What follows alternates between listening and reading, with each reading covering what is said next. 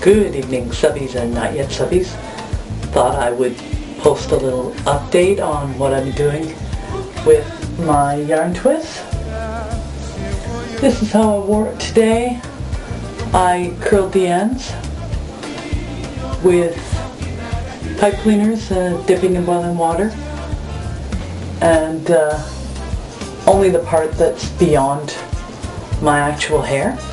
Then I put a black, small black headband, which you can't really see, and my Forever 21, uh, I guess, flowered type headband.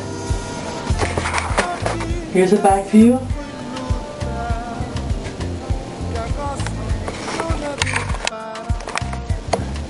So that was a quick and easy way to wear this style.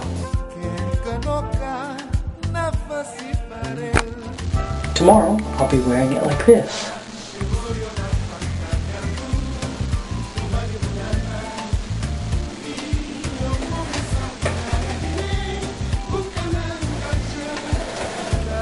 I gathered the back up into a ponytail, a little bit over to this side.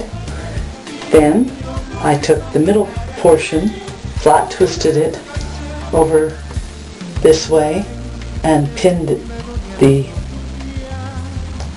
flat twist down with uh, hairpins like this